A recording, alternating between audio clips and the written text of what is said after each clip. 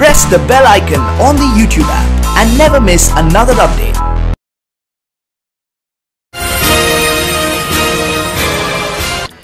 केंद्रीय मंत्री कर्नल राज्यवर्धन ने सोमवार को झोटवाड़ा विधानसभा क्षेत्र के कार्यकर्ताओं द्वारा आयोजित श्रद्धांजलि सभा में गोवा के मुख्यमंत्री मनोहर पर्रिकर की चित्र पर पुष्प अर्पित कर उन्हें श्रद्धांजलि दी इस अवसर पर उन्होंने कहा कि राजनीति में स्वच्छता की अमिट छाप छोड़ने वाले पर्रिकर जी ने गोवा की जनता ही नहीं, बल्कि पूरे देश की जनता का दिल जीत लिया।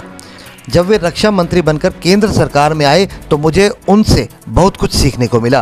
प्रधानमंत्री नरेंद्र मोदी जी ने भारतीय सेना के लिए वन रैंक, वन पेंशन का जो लक्ष्य रखा था, पर्रिकर जी ने उसकी जटिलताओं के बावजूद अपनी समझदारी से बहुत ही कम समय में लागू किया। आतंकवादियों को जवाब देने के लक्ष्य को भी उन्होंने बखूबी निभाया। पर्रिकर जी सादा जीवन, सरल स्वभाव और दूरदर्शिता वाले व्यक्ति थे। सभी के साथ आसानी से घुल मिल जाते थे। भाजपा सरकार के लिए उनका जाना अपूर्णीय क्षति है।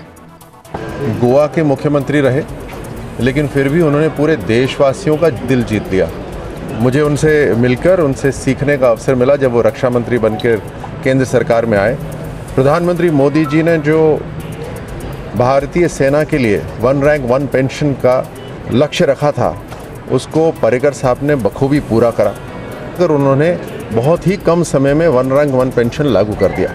और उसके बाद जब आतंकी हमले हमले हुए और उसका जवाब देना था, फिर प्रधानमंत्री मोदी जी के उस लक्ष्य पर, उस रास्ते पर मनोहर पारिकर साहब एक रक्षा मंत्री के रूप में बिल्कुल खरे साबित हो तो चाहे वो एडमिनिस्ट्रेशन हो या उनका खुद का व्यक्तित्व हो चाहे राजनीति को और बेहतर राजनीति बनाना हो या नागरिकों के साथ जुड़ना हो, हर रूप में वो अव्वल रहे।